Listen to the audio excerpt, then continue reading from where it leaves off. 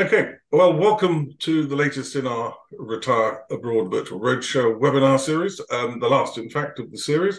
Um, today, we aim to give you some of the an idea of some of the financial issues you need to consider as you uh, plan your retirement to France. Um, uh, failing to plan can be very expensive, and although every situation is unique, uh, and professional advice is essential for someone who's able to look at both the consequences in the UK as well as in uh, as in France. Um, there are a number of general principles and detailed rules you need to be aware of. So we aim to um, make you aware of those today. Um, I'm Nigel Ayres. I run Expat Network. Um, I've lived in Hong Kong, Malaysia, uh, the US twice, and for the last three and a half years in, in Spain. Uh, we're joined today by George Shepherd of Blevins Franks, and uh, he'll introduce himself uh, in a moment. Uh, before we start, just want to emphasize if you have any questions, please use the button on your screen. Uh, we'll answer every question we can during the webinar. Any that we can't, uh, we can deal with afterwards. Just to note that um, if you're using a nickname rather than your actual name in, in logging on to this, then we may not be able to tie you back to the original registration details we have. So if you have any questions that don't get covered or you think of something after the event, just send us a, an email at expats at expatnetwork.com and we'll either answer it or we'll pass it on to uh, George or whoever's relevant to, to answer that question. Um, okay, so perhaps we get started and with um, George, if you could uh, give us a, a, little background about yourself and, and, and Blevins Franks. Okay. Yeah. Um, thank you, Nigel. Um, I am a partner here in the Bergerac office for Blevins Franks. It's a fully functioning office with other partners, uh, private client managers. I've been here now for a complete four years in January and um, into my fifth year. Previously, I, I, started my career in 1990 with Noble Lowndes, Sedgwick, and looked after the big um, final salary schemes in the UK, likes of Rolls Royce, etc. I then set up my own um, wealth management practice in Scotland, built that up over a 10 year period, sold that successfully to Skipton Building Society. I was then with Fisher Investments before arriving here in France with Blevins Franks. Um, Blevins Franks are probably Europe's biggest wealth manager. We have offices throughout France, um, Valbonne, Niort, all over France. So it may not be me, the partner, that would look after an individual, depending on where they end up. Um, but we are uh, regulated to give advice here in France, as I am, uh, which is quite an important point because after Brexit and the withdrawal agreement, UK advisors, um, a lot of banks, institutions are now no longer legally allowed to give advice to French tax residents. We have the regulatory, we have the professional indemnity, and um, everything in France is, is set to do what we need to do for people arriving in France. So that's a little bit of background to me. Um, hopefully that helps, Nigel. Okay, well, thank you, George. Um, so let's get started about sort of financial planning generally, if you like. Um, as people prepare to retire, uh, typically, you know, they need to make various decisions. I guess the focus um, perhaps switches from building their retirement fund to uh, generating income to fund their retirement, and that's true of anybody wherever you're retired. Um, are there any sort of added complications, if you like, uh, by moving abroad that um, that do that? And what are the key issues that people should be considering uh, for their investment strategy as they plan their retirement in France? So I, I think the, the, the the ideal situation for Blevins Franks is to be able to have discussions with individuals before they arrive. Um, there are a number of scenarios, particularly with pension, that there might be some action that might be best to do before you become a French tax resident. For example, if you have an opportunity after 55 years of age to take 25% tax-free cash sum, that should be considered. Um, if you have not got that opportunity, there are other ways that planning can can can make sure that once you arrive in France, we can maybe do a drawdown Um, we could maybe look at taking larger sums. It all depends on the individual circumstances, but pension is certainly one area that should be looked at. If if an individual takes a lump sum and the pension's retained in the UK, that's okay.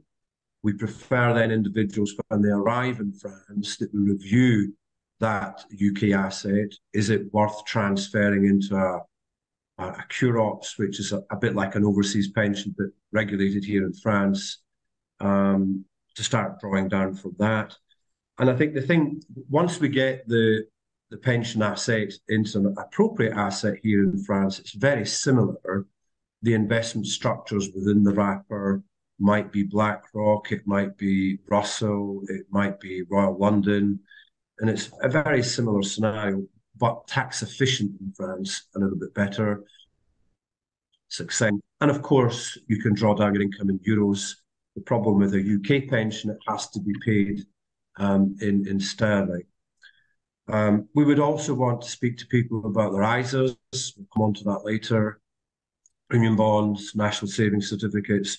So there's a whole range of things that should be discussed with Blevins Franks before they certainly become a French tax resident. Yeah. Okay, let's let's turn to that tax residence. Um, the the rules in the UK are one thing. You've got the statutory residence test to determine whether you are, are tax resident in the UK, uh, and then there are the rules in France. Um, could you perhaps explain those rules and and uh, you know how the one works with the other, given they may be different? Yeah, so I mean, I think that, there is a lot of grey area, particularly from the French side, but it's not actually up to an individual to decide whether or not he is or not a French tax resident.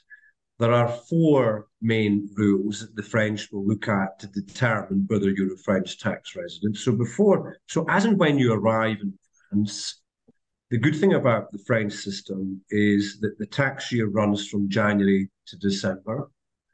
If you arrive in June, you will have a six month period to the end of December whereby you submit a tax return the following May so there is time and there are opportunities to make sure that things are done correctly. But if your main residence is going to be in France, your, your foyer, then that will determine that you're a French tax resident. If you are going to spend more than 183 days, or you're coming to France with permanence in mind, you will be a French tax resident. If your principal activity, your main job, um, your main income arises in France, you will be a tax resident. Um, and there's other scenarios. So it, it, it, naturally follows that people that are coming to France, if they're coming here permanently, will be a French tax resident, not a UK tax resident. Okay. And um, given the different rules, is it possible actually to be uh, sort of treated as tax resident in France and in the UK? Yes, it is. Um, there is the statutory residency tests. However, it depends on how many days you stay in the UK. However, the French will override that if they deem that your main residence is here or you're here for more than 183 days. So there, there are complex scenarios. I've been here now for years. Everyone that I've ever come come come in contact with or has become a client these statutory residency tests have never been needed to be applied, but it may occur. And the answer to your question is yes, but it's it's unlikely. Okay, and um, in terms of the there's the double tax treaty between France and uh, and the UK. How does that work? Is that um, does that give people the opportunity? Well, it's it's a it, Nigel, it's a good thing. Um, after Brexit, the um, double taxation treaty that existed between France and the UK has not changed. It is unlikely to change and it's very effective. So, if to give you some examples, if if you're receiving a pension from the military, teaching, uh, government, that will always be subject to UK tax at source. Uh, rental income in the UK is subject to UK tax. But then the double taxation treaty kicks in. So when you complete your French tax return, you have to declare the income that you've received, of course, the tax that's been deducted, and then the French will make an adjustment and will determine the overall rates of tax that you should pay, taking that into account, but you don't get taxed twice. So the double taxation treaty works very well in a number of income sources. It also works very well in respect of inheritance tax as well. Um, so the double taxation treaty is a good thing, um, but is still needing to be declared, but it's taken into account and not not taxed twice. Okay. And the double taxation treaty has not really got much to do. Sorry, carry on. So the statutory, the statutory residence test is one thing, the double taxation treaty is another, um, but the double taxation treaty is, is actually quite beneficial for those, those who have UK income sources still taxed in the UK. Right. Okay. Um, and um, so, if, if, once you become tax resident in France, um, are you taxed on just income in France or, or worldwide? How does it work? So, one, once you become a French um, tax resident, you are taxed on worldwide income and gains in France, um, taking account the source of income and depending on the double taxation treaty but you should not pay double tax. But it's it's very similar. We still in France we have, which is slightly better than the UK, we have five band rates of tax. Um, the fact that it's the foyer system, um, Nigel, is good because it depends on the number of parts that are in the house. So if if, if my my wife and I are in the house together, she has no income, the total income that I have is divided between the two of us. You each then have your own personal allowance. Then the next band up to 12,000 whatever euros is at 11% for both of you. So the, the, fact that you've got the foyer system, you've both got your personal allowances, and you have five tax bands. The tax is no more um, punitive than in the UK. The difference difference in France is they have, in addition, social charges, and that's slightly different. Right. So I wouldn't worry too much about income tax. It's the social charges that you need to bear in mind, because if you have earnings, you will pay social charges of about 9.7%. If you have pension income, it's about 9.1 and any income investment from uh, other sources is, is 17.2. So the social charges, unlike national insurance in the UK, but the social charges are important because by paying social charges, you have access to the healthcare system. So I often say to clients, if you've got a hundred thousand income a year and you're paying 10,000 social charges to get into the best healthcare system in Europe, I think that's a fair price to pay. Right. Okay. Um, does you mentioned uh, premium bonds? Um, those um, obviously are tax free in the UK. Um, what's the sort of treatment when they if people move to the uh, move to France for those? So these are these are assets in the UK that, that we like to talk to clients about before they become a French tax resident.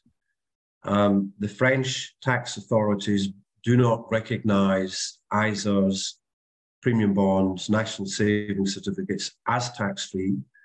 Here in France, any dividends or gains would be subject to tax at a flat rate of 30%, inclusive of social charges.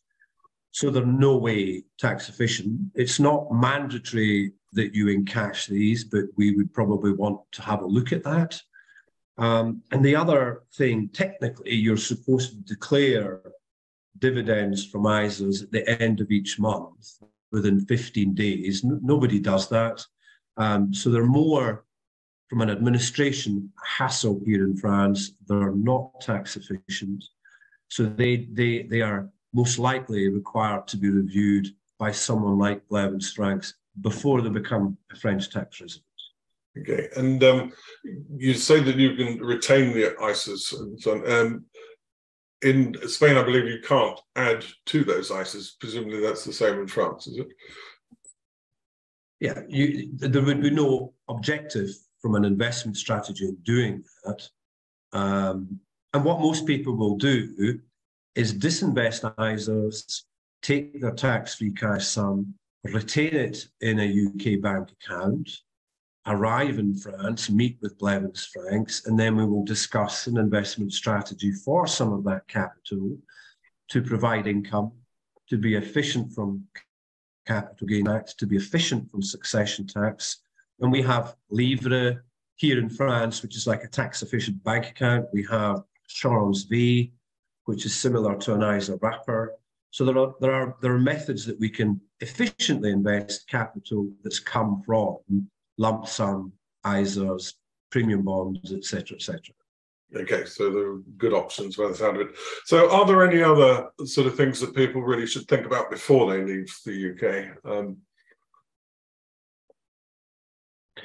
um, Nigel, we introduced about 18 months ago, post Brexit, a new strategic financial planning report we uh, offer this to clients who are still in the UK with maybe 12 months, nine months before they come.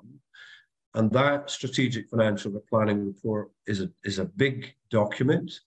And we will deal with things like residency, de healthcare, their pensions, uh, the taxes and income and all that is covered in that particular report.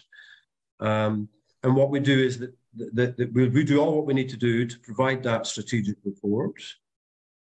When the client arrives in France, we present an additional report having made the adjustments from the original report.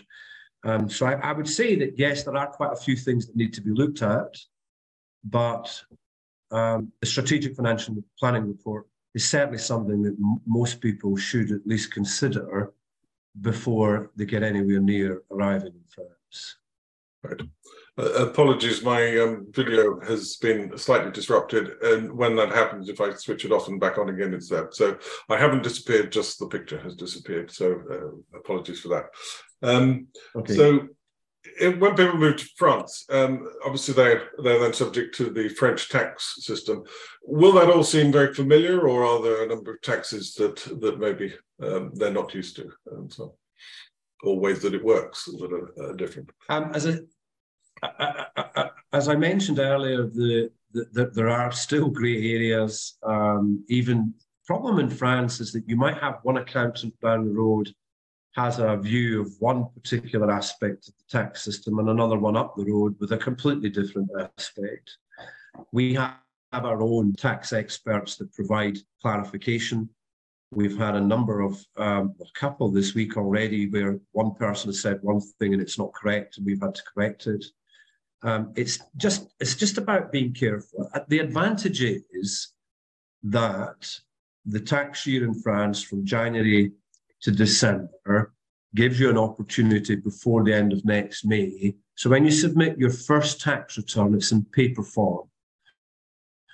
So your first year, it's online we at Blevins Franks have our own tax experts. I have here in Bergerac and around about Limoges, Angoulême, Perigueux, our own um, accountants that we refer clients to. We have avocats, one in particular in Perigueux. So we give guidance as to what needs to go on a tax return. We will give you a referral to a good accountant that's English speaking. Um, so there are so many pitfalls, Nigel, so many to mention. It's just about being careful, but individuals do have time to get it correct. Right. And is there a wealth tax in, in France as, as in uh, Spain? Yes, um, we do have a wealth tax here in France for people who are arriving from the UK or, or anywhere. There is a five year holiday where there is no um, French wealth tax. When you become a French tax resident, wealth tax is on worldwide assets. Um, so it, it, it is something that's given a holiday break for five years. um, there is a 1.3 million euro exemption. Um, if you break over that 1.3, tax kicks in at 800,000 euros from a scale of 0.5 up to 1.5, more than 10 million. But I read an interesting article just a couple of weeks ago that in France, only 350,000 households pay wealth tax. Of that number, only 250, actually 250,000 paid less than 5,000 euros wealth tax. So it's not anything to be majorly concerned about because there are a very small percentage of individuals in France that are actually caught up in wealth tax. And it tends to it tends to be those who are um, capital rich and not income rich, because it only applies to real estate. So things like assurance vie, uh, QROPS pensions, it, it doesn't apply to other assets. It's it's only to real estate. Okay. Thanks. Um, so many people will be sort of financing their retirement through um, investment savings, uh, private pensions, state pensions. Um, if I could just sort of cover off the state pension side, um, those who may have watched earlier videos will have heard this before, but um, basically, if you're going to get uh, a, your UK state pension, uh, once you qualify for that, um, if you're already getting it when you go to uh, France, then you can continue to receive it into your UK account, or you can arrange for it to be sent to your account in, in France. If you become of uh, retirement age once you've or state pension age once you've moved to France, then you need to deal with the International Pensions Department. Um, and you go to their website, there's a form you can download, and then you need to fill that in, or at least that's the theory. The trouble is that that form starts off with the question, have you ever lived in the UK? It then asks you for every employer you've ever had. Um, it asks for every house you've ever lived in. Um, and so it becomes an enormously um, pain um, to, to complete that. The alternative is you pick up the phone, there's a phone number that's listed on our site if you were to go into the uh, retirement section. Um, and you basically just ask answer a few questions and they will uh, put you into the system. Now, in my case, um, nothing happened for a thing, and I didn't get around to calling them for three months. And when I did call them, uh, they said, uh, ah, nothing seems to have happened to your case at all. Um, so we'll put you on the urgent list, and it was dealt with one week later. So the key message in terms of the state pension is very much, um, you know, do uh, do use the phone rather than the forms. It's a it's a great deal easier. Um, I don't know whether you have anything to add there, George, on the state pension. Otherwise, we'll move on to private. Um, the only the only thing I would probably add is that those who are lucky enough to have a UK state pension is actually a very favourable thing here in France. Um, we would normally, I would normally suggest to someone that they complete the Form S1, which you can do once you have a state pension. Once you're here in France, that Form S1 will be registered with CPAM, the French healthcare system, and that Form S1 will give you access to the French healthcare system. Also, having a Form S1 is beneficial from a social charges point of view because you will not pay social charges on your state pension.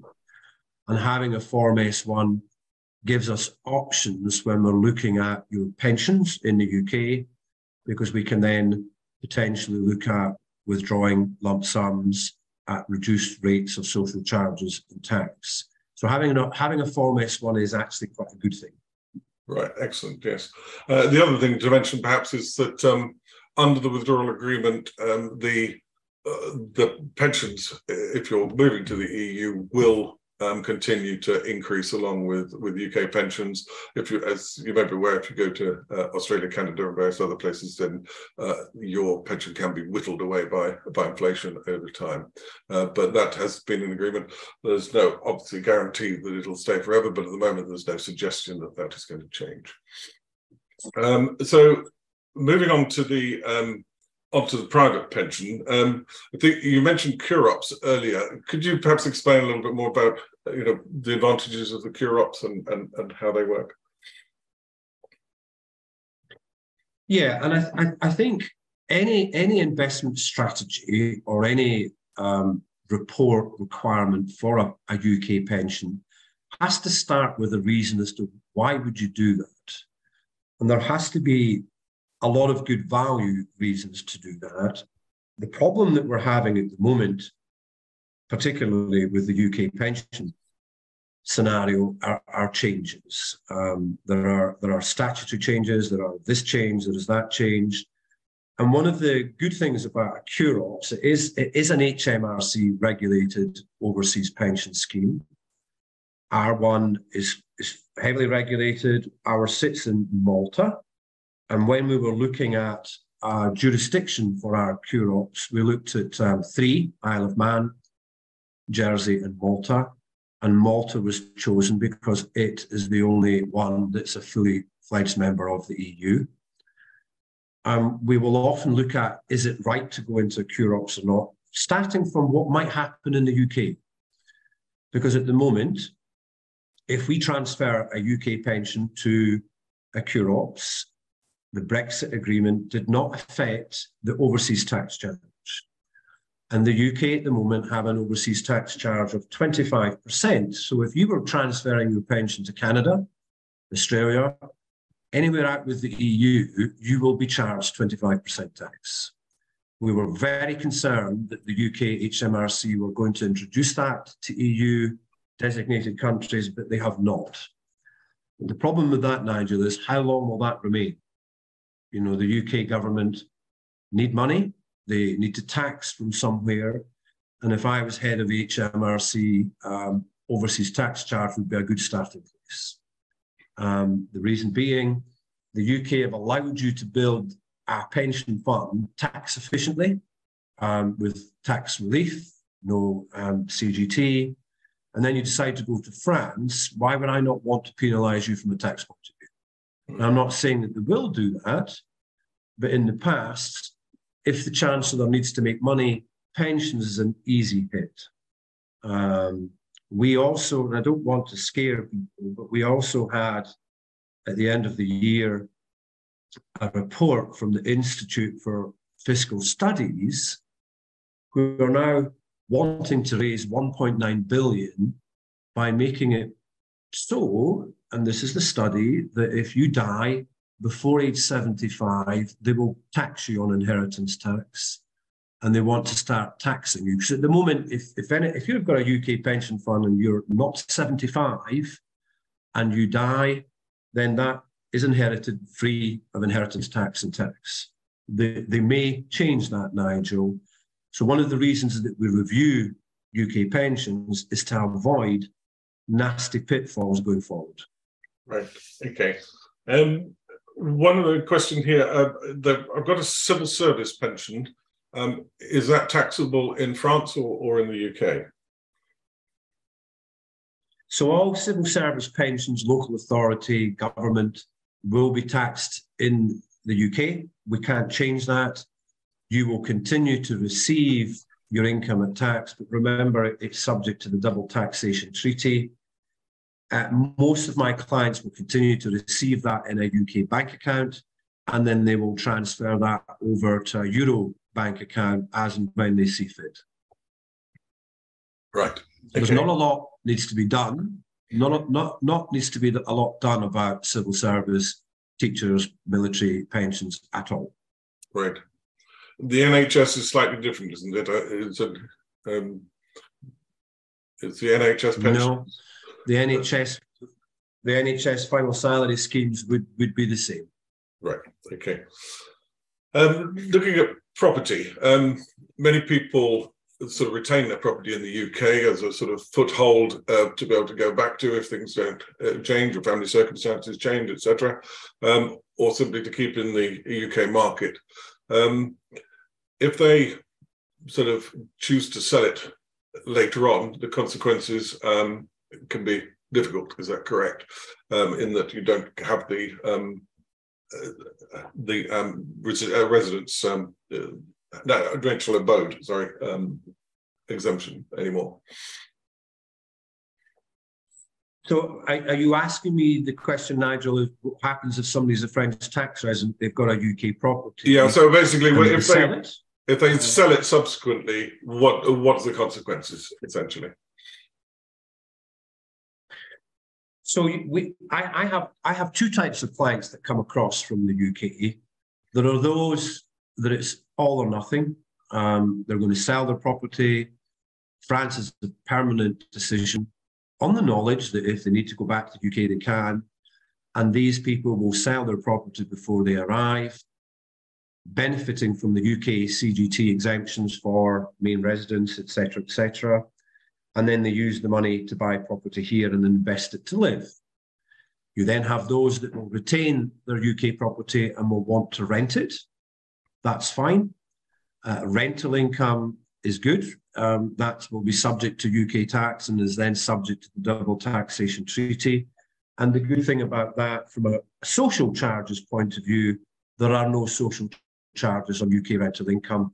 There's double taxation treaty and there's credits, etc., etc. So that's the, the second type of client. Then you have the client who wants a boat whole in both. They might go back, they might not. So they're going to keep the UK property. The French tax rules do give you a period of time from the date you become a French tax resident, around about 12 months, where you've got an opportunity to sell it.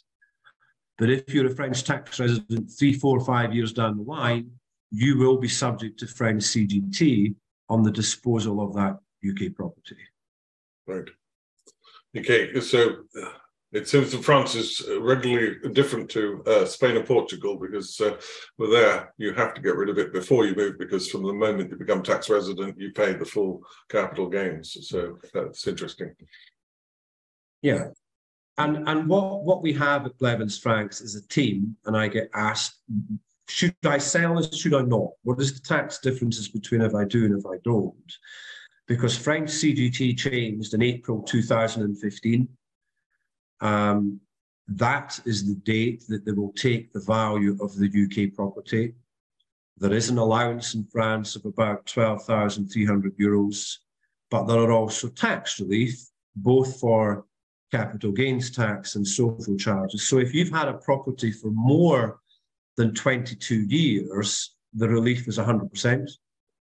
If you've had a property for more than 30 years, that is an exemption from social charges. But I wouldn't worry too much about that. That is something that can be covered in our strategic financial planning report. And that is a very, very important question for everyone. What should I do about my property? Yeah. Okay. Thank you. Perhaps we can uh, move on to inheritance tax. Um, I guess if somebody is um, in um, France, there are two, a number of aspects to this. One is what are you allowed to do in terms of inheritance? And two, what are the consequences from a tax perspective, both in France and in the UK? Could you uh, give us an idea on that? Yeah, I, I will. I will give you a a broad um, comment. Um, I've only I've only been in France for four years. And succession tax has been the biggest hurdle for me to get my head around, but I'm nearly there. But we have a good team. And the problem, the problem with so succession tax in France is the equivalent of, of inheritance tax in the UK. There is still a double taxation treaty between the two countries in both taxes, which adds to the complications. But succession tax here in France is effectively the same as inheritance tax in the UK, but with much um, you know diff- different rules. The big problem we had in December last year is that new forced hereditary rules came into being, which effectively affects English, Welsh, Wales. It doesn't affect so much Scottish wills, but these rules um, effectively meant at the moment we're, we're giving advice to, to have a French um, will for French assets, having a UK will for UK assets, trying to make sure that we're protecting you from forced hereditary. We think it will change again anyway. But when I'm when I when Blevins Franks are reviewing what do we do for succession, we start off with the mar, mar the marriage regime. Um, what is your marriage regime when you arrive in France? Do you have the correct marriage regime? Do we need a PACS, which is like an agreement? It's not quite a, a civil marriage agreement, but it's a written contract that's drawn up by a notaire. And we will provide succession planning starting off with the marriage regime. Here in France, donation, I would say, um, not donations, but between spouses and PACS, there is no succession tax. We still have gift exemptions for spouses and children, so you can gift your spouse 80,000 odd euros.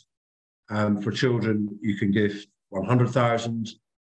You're allowed to do that each 15 years. Um, but then the other aspect that we look at is your property, and then we'll look at your assets. So there are, with the marriage regime, we can set up on en tontines, we can do en indivision. Um, in France, they have a wonderful facility called an usufruct, where we can set that against the property, or we can set it against an investment like an assurance vie. Um, but Nigel, what I'm trying to say is that it, it is complicated, that there are a number of very efficient ways of mitigating succession tax, and most importantly, what we have to be careful with in France, if very commonly, like myself, if if you have children from different relationships, it's very important that we put in procedures to protect both spouses and make sure that the money or your wishes go to the right person, particularly children. So I know that doesn't sound very clear because it's not. It's very complicated. Well, I think it it at least gives the fact that um, you know, if there are significant assets that uh, that will be uh, inherited, uh, you need to both understand what you're allowed to do and also what the tax consequences are, and I guess what sort of planning makes sense to to make sure that you minimise that tax yeah. as possible. And, and uh, we start off: Are you married? What is your regime? Do you have children? Do you have children from different relationships? What's your intention? Do you want it all to go to your wife? Do you want it to go to children? on second death. You know, we start off with what is it you're actually trying to achieve, and then design a plan with investment structures to achieve what your objectives are. And everybody's okay. different. Yeah. Okay, well, many thanks for that.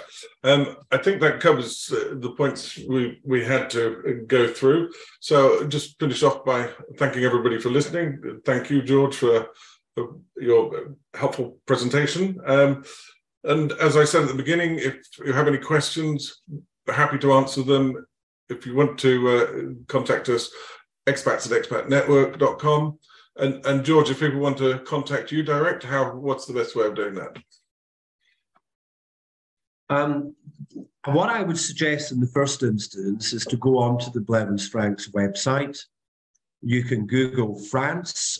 Um, the partners my review will come up. Um, if you want to email me direct, uh, my email is on that, but it is george.shepherd at blevinsfranks.com. Um, you can ask Nigel for that email, he has it. Mm-hmm. Um, and my telephone number is, is out of date on the website. Um, so it would be best probably to contact me by email.